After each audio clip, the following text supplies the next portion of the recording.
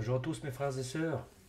Alors euh, le Seigneur m'a mis à cœur, il y a quelques minutes là, il m'a mis à cœur pour euh, partager quelques passages de la parole afin de donner un message d'exhortation. Un message d'exhortation qui, je l'espère et j'en suis sûr, va, va toucher mes frères et mes sœurs, va me toucher aussi parce que moi aussi je dois bénéficier de ce message qui vient de la part du Seigneur afin que nous puissions tenir ferme, nous puissions avoir les idées claires, les yeux complètement nettoyés pour voir où on va avec le Seigneur. Donc voilà. C'est notre prière ce matin. Alors, On veut là, je vais lire quelques versets. On va essayer d'analyser et on va laisser le Seigneur nous expliquer ce qu'il a à nous expliquer. Je vais prendre des passages. Je vais prendre principalement des passages de, du livre de Matthieu. Alors, le premier passage qu'on va lire de la parole de notre papa, ça va être Matthieu 6, versets 22 à 23.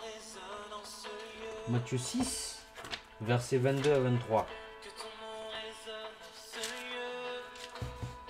Matthieu 6, voilà. Matthieu chapitre 6, versets 22 à 23. C'est le Seigneur Jésus qui parle. Il est sur la montagne, c'est son premier grand discours dans le livre de Matthieu. Il est sur la montagne où il enseigne avec autorité. Les personnes qui sont autour de lui, ils sont étonnés, ils sont choqués parce que Jésus c'était quelqu'un qui parle avec autorité. Dans le sens que quand le Seigneur parle, il ne doute pas. Quand il dit quelque chose, il sait ce qu'il dit. Voilà. Avec autorité, c'est ça. Il affirme les choses avec certitude et on ressent, quand on l'entend, quand on le voit, on ressent qu'on est en sécurité avec ce qu'il dit parce qu'il sait ce qu'il dit. Alors, Matthieu verset chapitre 6, de 22 à à 23. Le Seigneur nous dit L'œil est la lampe du corps. Si ton œil est bon, ton cœur sera illuminé. Ton corps, tout ton corps sera illuminé. Mais si ton œil est mauvais, tout ton corps sera dans les ténèbres. Si donc la lumière qui est en toi est ténèbres, combien sont grandes les ténèbres? Oh mes frères et sœurs, ce passage, il faut le lier avec ce qui est avant, juste avant, les versets 19 et 21, et les versets juste après, 24.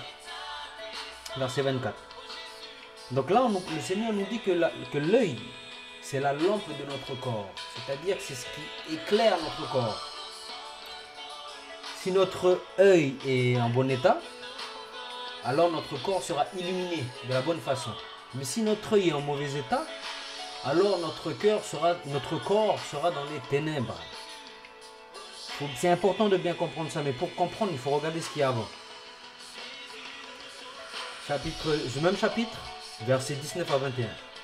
Ne vous amassez pas de trésors sur la terre où les vers et la rouille détruisent et où les voleurs fracturent pour voler. Amassez-vous plutôt des trésors dans le ciel, là où ni vers ni rouille ne détruisent et où les voleurs ne fracturent ni ne volent.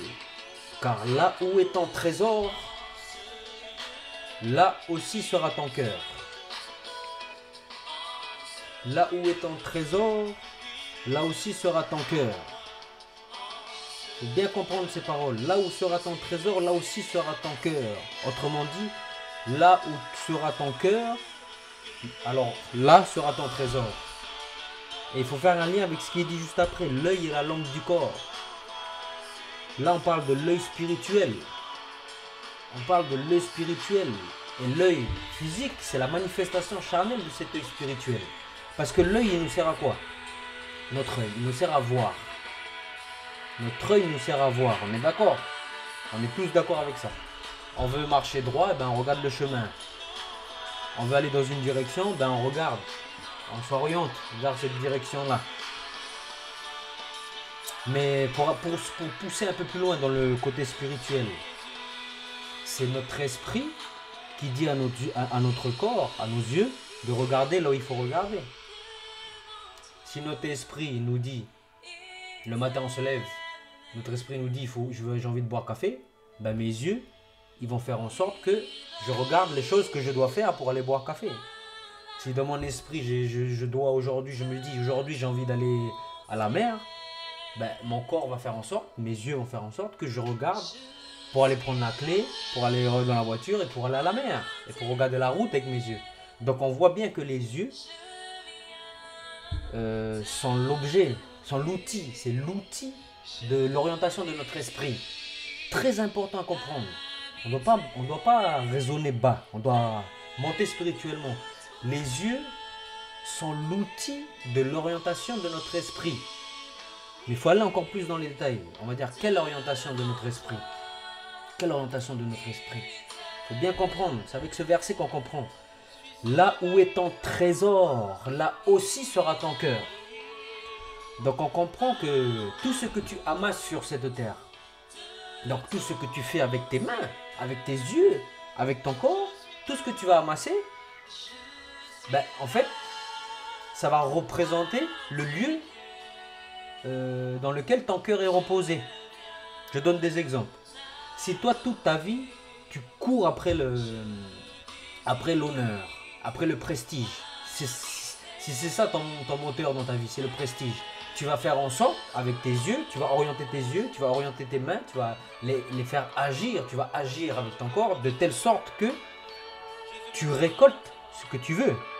Tu récoltes le prestige, l'honneur, le prestige. Donc voilà, tu vas peut-être faire de la musculation pour que les filles te regardent. Tu vas bien travailler à l'école pour paraître intelligent. Tu vas faire des choses, tu vas orienter ton regard. Tu vas orienter tes mains pour, produire ce que tu veux. Donc ce que tu vas récolter, ton prestige, tout ça.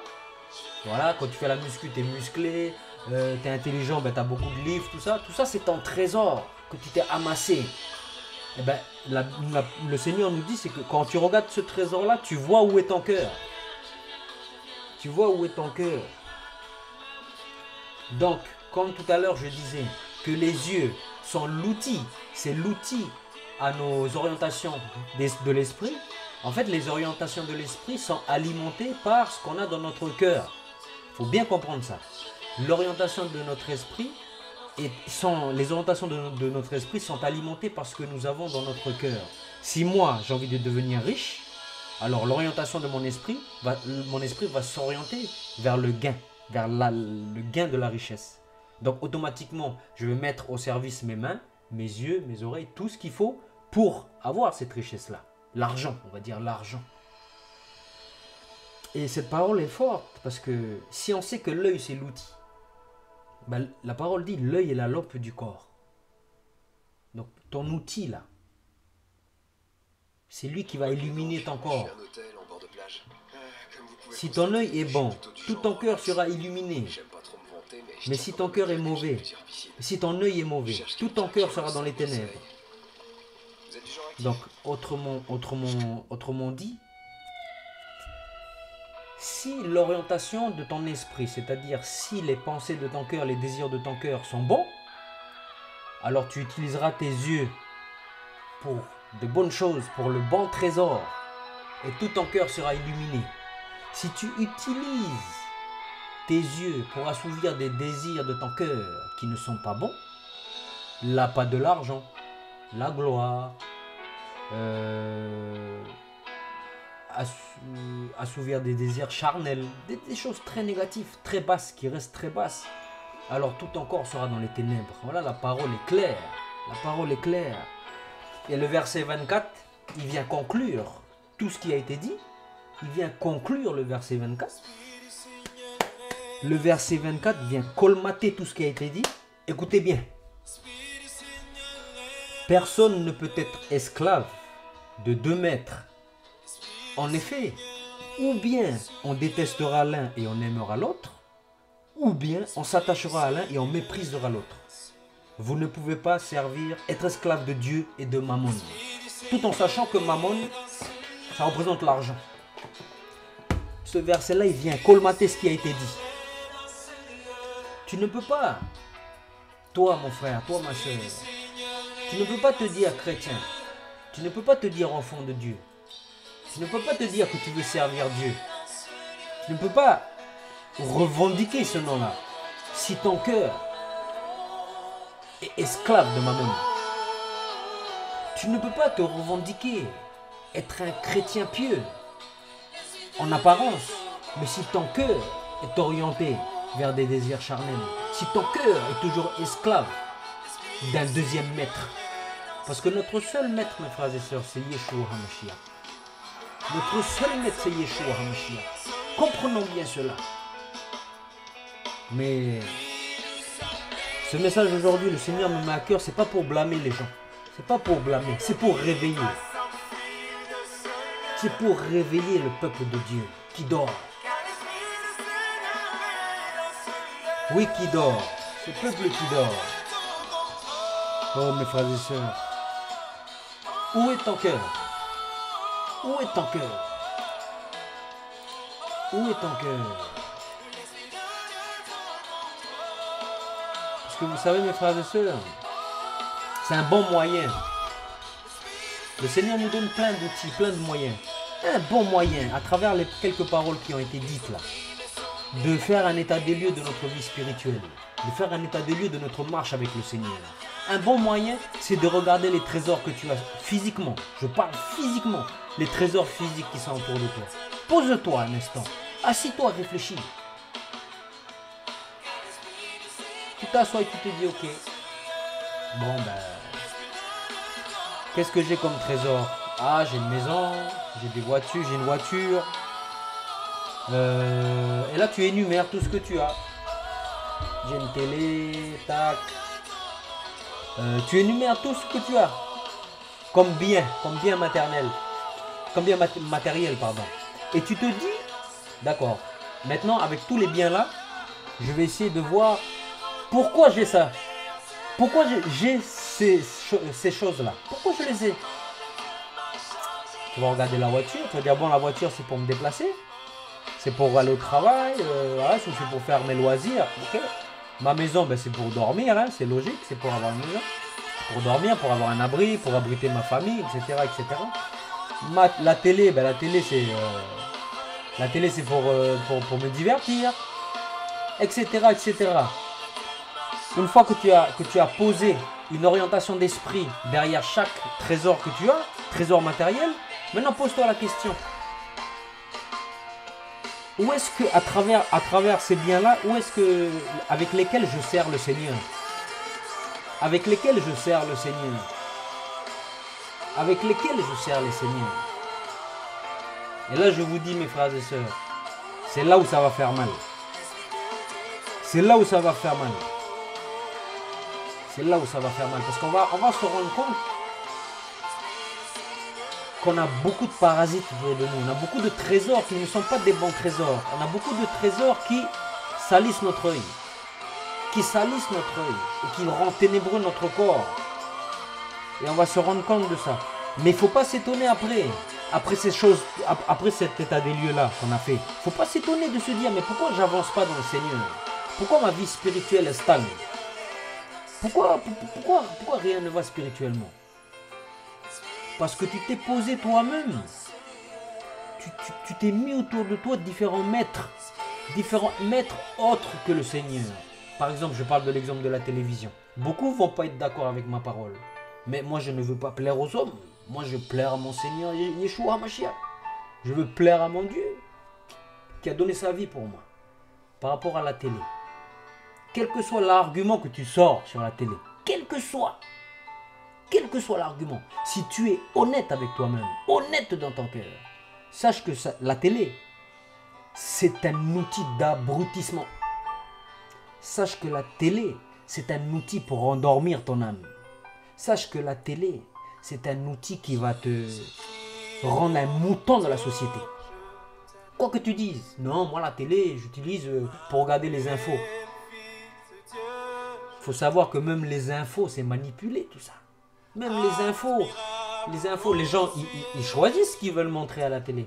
Ils montrent pas tous les faits divers. Sur l'ensemble des faits divers qu'il y a en France, qu'il y a en Kanaki, sur l'ensemble, ils choisissent en fonction de l'idéologie, d'une idéologie.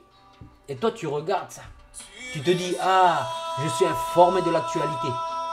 Mais est-ce que être informé de l'actualité, si toi tu as une télé pour regarder les infos, est-ce qu'être informé de l'actualité, est-ce que ça glorifie le Seigneur?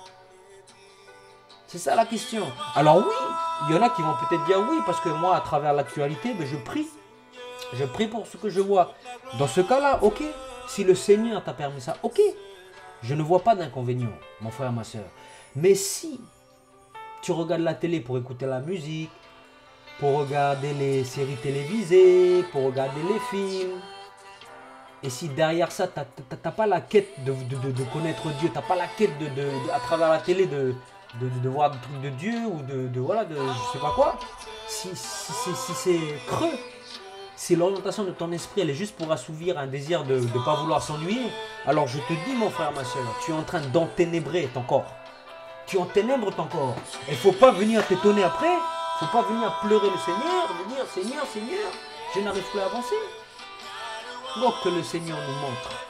Je prie ma prière aujourd'hui pour nous tous. Pour nous tous les enfants de Dieu. Ma prière c'est que le Seigneur, notre Seigneur Jésus-Christ, Dieu, notre Dieu, nous révèle les choses que nous ne voyons pas. Les choses que, qui sont voilées à nos yeux, mais qui nous ralentissent spirituellement. Les choses qui nous ralentissent spirituellement. Oh, c'est très important mes frères et sœurs. Rien que, rien que sur ces quelques passages-là, Matthieu verset 6, du chapitre 19 jusqu'au chapitre 24, nous voyons très bien que on ne peut pas utiliser nos yeux. On ne peut pas utiliser nos yeux pour servir le Seigneur alors que notre cœur, il n'est pas avec le Seigneur. On ne peut pas être hypocrite à ce point-là. Donc il faut choisir son maître, Mammon ou le Seigneur. Une fois que tu as choisi, une fois que tu as choisi que ton maître c'est Dieu, vous verrez, mes frères et sœurs, mais tout va aller, tout va être fluide. Si tu es sincère dans ta démarche, si tu te dis Seigneur, tu es mon maître, c'est toi maintenant que je veux suivre, montre-moi ce qui est bon pour moi, montre-moi ce que je dois regarder, ce qui est bon pour mes yeux. Parce qu'il faut savoir que quand on regarde des trucs, mais on mange, c'est une nourriture. Quand on écoute des choses, on mange, on nourrit notre esprit. Tout comme on va acheter poulet rôti, on va, on va manger poulet rôti, on va nourrir notre corps. Ce qu'on regarde, ce qu'on entend, ça nourrit notre, notre esprit. Mais si ce que tu entends, ça te rabaisse dans les ténèbres et ça, t'enferme dans, le monde, comment après, pourquoi tu t'étonnes après que tu n'arrives pas à avancer? Donc ce, ce message aujourd'hui, c'est vraiment une piqûre de guêpe que le Seigneur veut nous donner pour nous dire faites attention, je reviens bientôt. Je prendrai avec moi ceux qui sont prêts. Le Seigneur ne prendra pas, ne prendra pas ceux qui ne sont pas prêts. Et là, on va enchaîner sur une autre parole pour appuyer ce que je viens de dire. Matthieu 7, on va coupler deux paroles. hein. Matthieu chapitre 7, versets 24 à 27.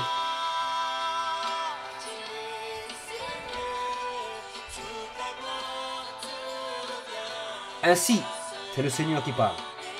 Quiconque entend de moi ces paroles et les met en pratique sera comme un homme avisé, un homme intelligent, un homme sage, qui a construit sa maison sur le roc.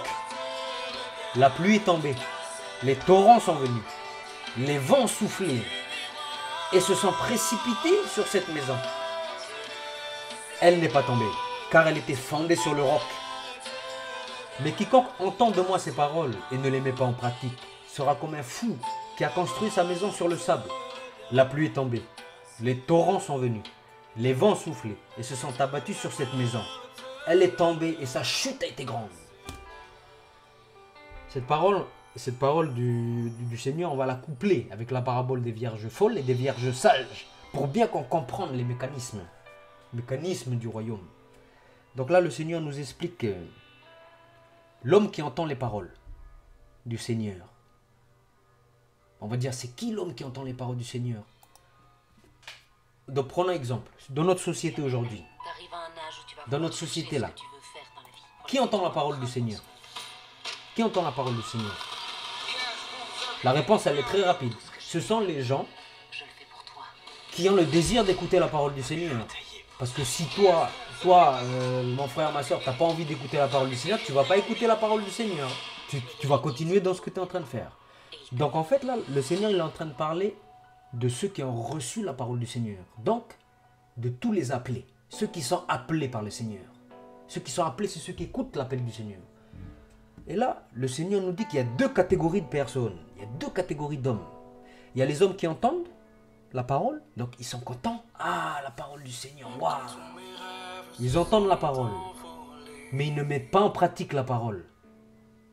Il y a l'autre catégorie de personnes, ils entendent de, d'un aspect extérieur quand on regarde, c'est la même, c'est la même chose les deux. Ils entendent la parole, mais il y en a un qui ne met pas en pratique et l'autre qui met en pratique la parole. La parole du Seigneur, il met en pratique. On voit, la, conséquence là. Il y a une maison, celui qui n'écoute pas, elle sera enlevée par les perturbations, par les épreuves de ce monde. Mais la maison de celui qui écoute et qui met en pratique la parole ne sera inébranlable. Cette maison-là sera inébranlable. Mais notez deux termes qu'on va mettre en relation avec, avec ce qu'on va dire juste après. Il y a deux hommes. Et le, Seigneur nous dit qu'il y a l'homme avisé, l'homme sage, et qu'il y a l'homme euh, fou. Retenez bien les deux termes avisé et fou. Maintenant, on va sauter, on va aller quelques versets, quelques passages plus loin pour faire le lien entre cette parabole-là et la parabole des vierges. Alors, on va aller dans. On va aller dans Matthieu 25. On va lire la parabole. Alors le règne des cieux sera comme ces dix vierges qui avaient pris leur lampe pour aller au-devant du marié. Cinq d'entre elles étaient folles. Retenez bien les termes. Cinq d'entre elles étaient folles. Et les cinq autres étaient avisées, sages. Les folles, en prenant leur lampe, n'avaient pas pris d'huile avec elles. Mais celles qui étaient avisées avaient pris avec leur lampe de l'huile dans un récipient. Comme le marié tardait, toutes s'assoupirent et s'endormirent. Au milieu de la nuit, il un cri. Voici le marié. Sortez à sa rencontre. Alors toutes ces vierges se réveillèrent et préparèrent leurs lampes. Les folles dirent à celles qui étaient avisées Donnez-nous de votre huile, nos lampes s'éteignent. Celles qui étaient avisées répondirent Il n'y en aura jamais assez pour nous et pour vous. Allez plutôt vous en acheter, c'est ceux qui en vendent. Pendant qu'elles allaient en acheter, le marié arriva. Celles qui étaient prêtes entrèrent avec lui dans la salle des noces et la porte fut fermée. Plus tard, les autres vierges arrivèrent aussi et dirent Seigneur, Seigneur, ouvre-nous. Mais il répondit Amen. Je vous le dis, je ne vous connais pas. Veillez donc, puisque vous connaissez ni le jour ni l'heure du retour du Seigneur. On va mettre en relation ces deux paroles parce qu'elles sont liées. Mes frères et sœurs, comprenons bien que il y a beaucoup d'appelés. Comprenons bien qu'il y a beaucoup d'appelés, le Seigneur nous dit, mais qu'il y a peu d'élus. Alors il faut comprendre que les deux hommes, l'homme avisé et l'homme sage, ces, deux catégories d'hommes forment l'ensemble des, appelés de Dieu. Ceux qui sont appelés à, se, à suivre le Seigneur, ceux qui ont reçu l'appel. C'est pas tout le monde qui reçoit l'appel. hein.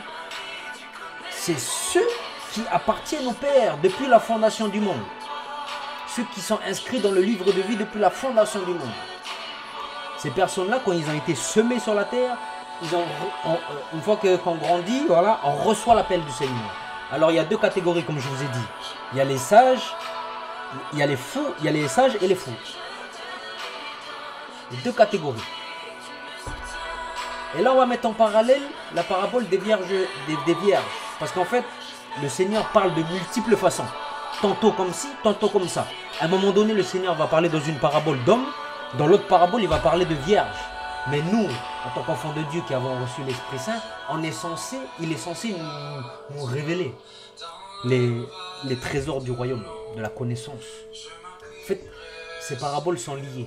Donc là, on comprend que l'homme fou qui entend la parole de Dieu, mais qui ne met pas en pratique la parole de Dieu, en fait, c'est la Vierge folle qui manque d'huile, qui manque d'huile et qui ne peut pas allumer sa lampe, qui manque d'huile et qui ne peut pas allumer sa lampe. On commence à faire des liens avec ce qu'on a lu avant, l'œil et la lampe du corps. Tout ça, on, va tisser, on, on va tisser parce que les Écritures, voilà, faut les tisser entre elles. C'est important de bien les comprendre. Donc, on comprend que si la Vierge folle représente l'homme qui a bâti sa maison sur le sable, donc qui a écouté la parole de Dieu mais qui ne l'a pas mise en pratique, donc on comprend que les vierges folles qui manquent d'huile, on comprend que l'huile, c'est l'enseignement. L'huile, c'est l'enseignement du Seigneur. On peut dire aussi que l'huile représente le Saint-Esprit. Mais il faut bien comprendre ce que c'est le Saint-Esprit. Nous, je sais pas quelle idée nous avons du Saint-Esprit, mais le Saint-Esprit, c'est pas, euh, c'est pas Dragon Ball Z. Un truc qui vient, non, le Saint-Esprit, dans l'évangile de Jean, le Seigneur nous a dit J'enverrai le consolateur, qui quand il viendra euh, dans vous, il vous, dira tout ce que je vous ai dit. Il vous dira. Donc le Saint-Esprit représente une parole. Parce que le Saint-Esprit, son rôle à lui, c'est de, nous faire rappeler, de nous, emmener à la connaissance de ce que le Seigneur veut et de ce que le Seigneur a dit quand il est venu sur cette terre. C'est ça le rôle du Saint-Esprit. C'est de nous guider à travers la- une parole, à travers une parole de compréhension. Ça le rôle du Saint-Esprit. Donc le Saint-Esprit peut représenter l'enseignement du Seigneur. Comprenons les choses spirituelles. Maintenant, on comprend que la Vierge folle qui manque d'huile, c'est le chrétien qui a entendu la parole du Seigneur. Parce que faut savoir que quand quelqu'un entend la parole du Seigneur, il est purifié par cette parole. Parce que je crois que c'est dans le livre de l'Apocalypse, il y a cette parole qui dit euh, euh, J'ai sanctifié mon épouse par ma parole. Donc il faut savoir que la parole du Seigneur, lorsqu'elle rentre dans un cœur, elle purifie cet homme. Mais ça, c'est la première étape. Elle purifie, elle, elle le rend pur. Mais après, il y a l'étape de la sanctification. Il faut devenir saint. Et cette étape de sanctification, elle se fait à travers l'enseignement de la parole, la lecture de la parole, la prière, demander au Seigneur de nous révéler et de nous apprendre à marcher avec lui.